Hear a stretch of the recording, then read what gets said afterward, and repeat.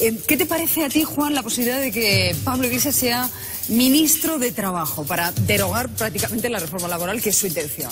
Hombre, efectivamente creo que sería bastante negativo para este país eh, que Podemos y en particular Pablo Iglesias entraran al frente de ministerios económicamente relevantes como pueden ser trabajo, eh, vivienda, no digamos ya industria, energía, transición ecológica, eh, básicamente porque el ministerio no solo es un lugar desde el que lucirse, sino es un lugar desde el que se mueve toda la actividad dentro de ese departamento. Entonces, si Pablo Iglesias adquiere trabajo, ¿qué va a tener bajo su control? Pues va a tener no solo la derogación de la reforma laboral, que en sí mismo ya sería grave, porque si bien no es una reforma laboral que haya solucionado ni muchísimo menos todo los problemas del mercado laboral español, estos subsisten, si ha mejorado sustancialmente la situación previa a la reforma laboral, ha contribuido a generar dos millones de puestos de trabajo y en contra de lo que se dice a reducir la temporalidad con respecto a lo anterior. Pero también tendría bajo su control el salario mínimo, tendría bajo su control la posibilidad de impulsar una reducción de la jornada laboral obligatoriamente y luego tendría, no lo olvidemos, bajo su control la reforma de la seguridad social,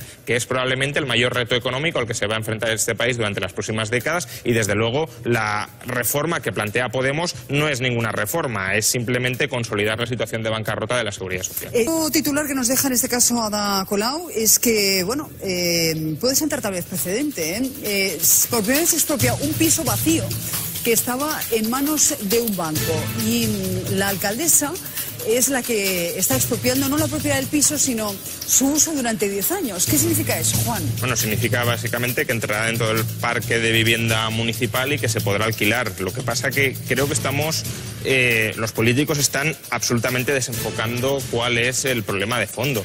En Barcelona hay, según fuentes del propio ayuntamiento, 10.000 pisos vacíos, el 1% de toda la oferta de pisos municipal. Por tanto, el problema del alquiler en Barcelona no es si hay o deja de haber pisos vacíos. El problema del alquiler afecta y es consecuencia de la política urbanística del Ayuntamiento de Barcelona o del Ayuntamiento de Madrid, en el caso de Madrid, y, eh, por tanto, el hecho de que expropien pisos, aparte de ser un atentado radical contra el derecho de propiedad, lo que hace es eh, quitarles eh, y desenfocar, como decía antes, el foco de su responsabilidad, porque son ellos los que deberían estar con políticas urbanísticas sobre las que sí tienen competencias, tratando de abaratar la vivienda. Que eso es un apaño.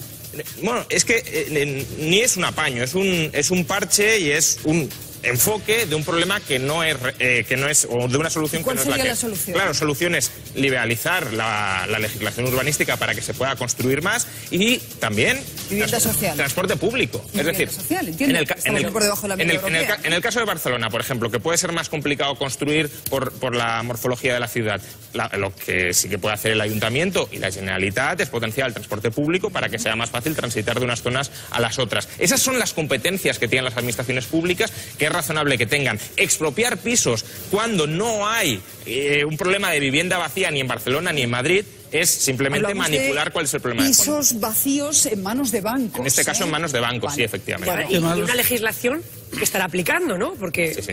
y que estará aprobada y que se habrá aprobado Sí, democráticamente. es- Sí, sí, bueno, pero, Eh, pero que, esté, es- que esté es- aprobado. La expropiación por un periodo de 10 años está contemplada en la Ley de Catalana de Emergencia de la Vivienda que se aprobó en pero- 2016. Ya de emergencia, pero ¿esto Establece es la figura de la expropiación no han dado- forzosa del derecho del uso de la vivienda atendiendo al interés general. O sea, que esté aprobado no significa que no pueda atentar contra el derecho de propiedad. Clara- lo- lo claramente. recurrirán, supongo. Sí, claro. La ley estuvo, Estuvo suspendida suspendida, por el Tribunal Constitucional tras un recurso del PP, una suspensión que fue levantada en marzo del año pasado. Claro, es decir, pero sigue atentado contra el derecho de propiedad. Creo que es evidente que es una limitación no radical del derecho No hay de la sentencia en firme todavía, pero en todo caso, a mí me parece muy bien que las administraciones eh, aporten alternativa habi- habitacional. Es lo que tienen que hacer.